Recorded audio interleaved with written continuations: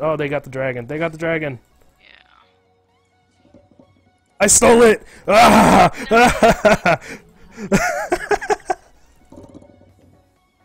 I came in with Tiger and went straight up into it.